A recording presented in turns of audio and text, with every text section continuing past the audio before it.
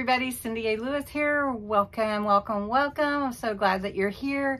Today I'm just gonna do a really quick, easy fold library card for you to add to your journals, to your scrapbook pages, to your cards even if you want to. It's super easy, just get the dimensions, and then you can actually make it as big as you want to. So we're just gonna try it with some Christmas paper I have here at my desk. And thanks so much for watching, I appreciate it. Uh, let's just jump in. Okay, so we're just going to pick a, a piece of paper from this paper pad that I have for Christmas. Of course, you could use scraps for this or anything that you want. So I'm just going to pick one that's pretty easy to accent. Let's go with this blue plaid uh, for this one.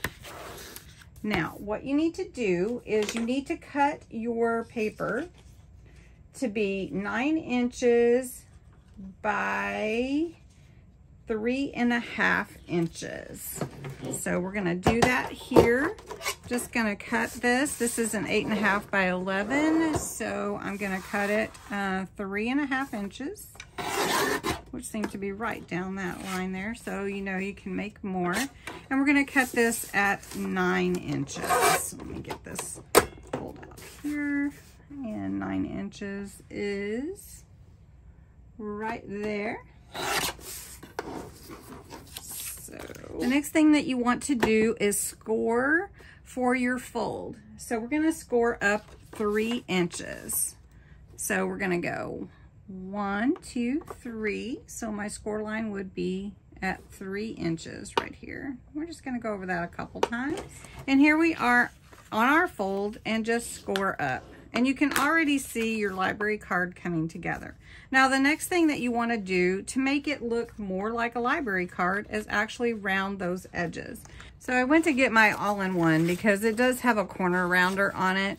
And what I need to do is round the corners to make it look like a library card. So right here is my corner rounder. Just going to slide this in and round that corner. And then I can do that also on this one. And it just rounds those corners so that you have a more rounded edge. And that's my dog. Hello, Hondo. And so then the next thing that you'll do is um, just glue down these two sides here.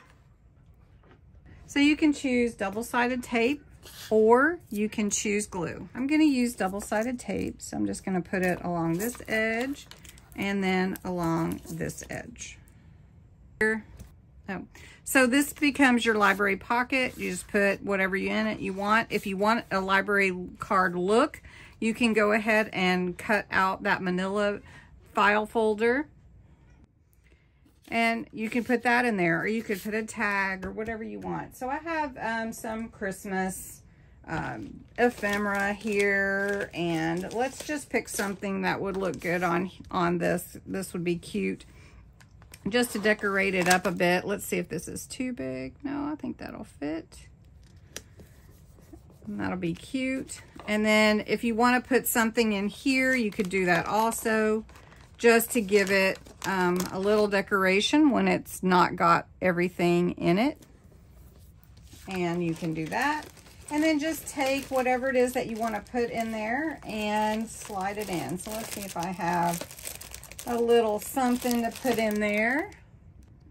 So just slide your tag in there if you want it to be a tag, or you could slide your uh, decorations in there. You could put lace or ribbon on here if you wanted to. You could take a little red ribbon and you could just put it over there. However you want to decorate is up to you, but it's really simple to make the card. Nine inches, score at three, and it's three and a half inches wide. Hope you enjoyed this quick video.